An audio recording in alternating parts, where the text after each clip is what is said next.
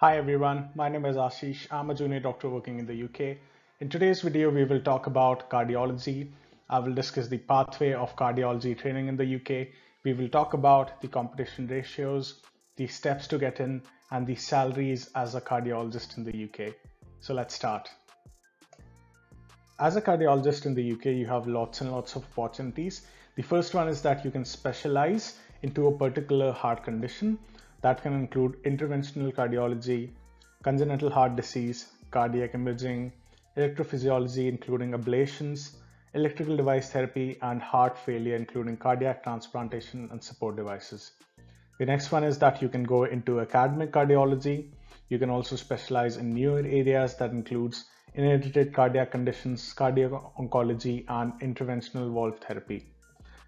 Apart from these, you can teach medical students or PG students in training, and you can get involved in research at universities or in the NHS or in the private sector. Apart from these, you can always open up your own private practice and start practicing as a private cardiologist in the UK as well if you don't want to work in the NHS or if you want to work part time as a private cardiologist. Let's talk about the pathway of cardiology training in the UK. So you'll have to go for two years of foundation training after your medical college.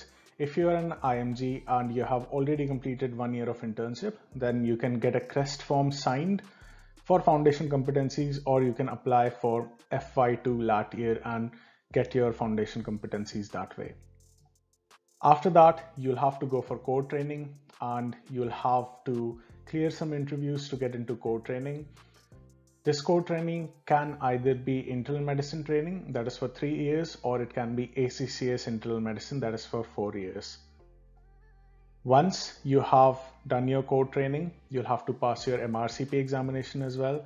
And then you'll have to apply for specialty training in cardiology, that is for five years. And you'll have to go for some interviews and you'll have to make a portfolio in order to get in.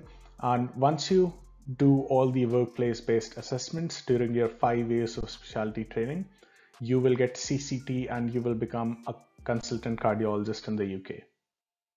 This is the diagram for the whole pathway. So you can see that there are two years of foundation training. After that, you have interviews and then you have internal medicine training or ACCS internal medicine. That is the core training part of whole of the cardiology training. After that, you'll have to clear your MRCP and again go for interviews for cardiology training. And then once you clear those interviews, you'll have to train for five years and then you get CCT and you become a cardiologist in the UK. Talking about the competition ratios, cardiology is a very competitive specialty and you can see that the competition ratios have increased quite a lot in the past five years. In 2017, the competition ratio was 2.65. There were 361 applicants and there were 136 posts. And you can see that this has increased to 4.13 in 2021 there were 401 applicants and there were just 97 posts for cardiology in the whole country. Let's talk about your earnings before taxes.